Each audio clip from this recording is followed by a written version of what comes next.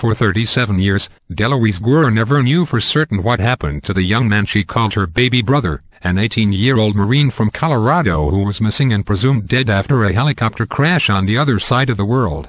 The Defense Department, however, told Guerra two months ago it had positively identified the remains of the man who disappeared so long ago, PFC. James Jacques. Oh my god, it's a relief to know that they have found his final remains, Guerra said. It's just an honor to bring him home.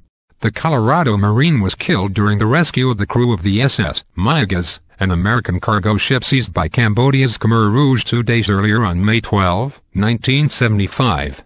Jacques will be buried with full military honors at Fort Logan National Cemetery in Denver on Tuesday on what would have been his 56th birthday. Jacques, pronounced Hawkes, was among hundreds of Marines and airmen sent to storm Koh Tang Island, about 60 miles off the coast of Cambodia, to rescue the Mayaguez crew. A helicopter carrying Jacques and 25 others crashed into the surf off Koh Tang Island amid unexpectedly heavy fire from Cambodian fighters. Half the men on the helicopter were rescued, but the other 13 were declared missing, including Jacques. All 39 crew Mayaguez members were released safely by Cambodia, but some 40 United States servicemen were killed. Jacques' identification dog tags were found in 1992, but his remains weren't positively identified until this year, said Air Force Major Kerry Parker of the Defense Prisoner of War and Missing Personnel Office.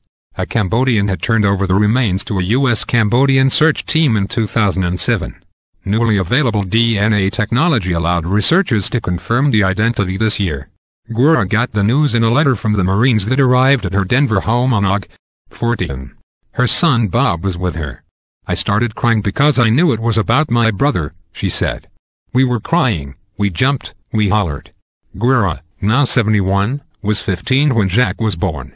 He was a very loving, very caring, well, he was my baby brother, she said. He was just a really good person. Jacques grew up in La Junta, a small town about 140 miles southeast of Denver.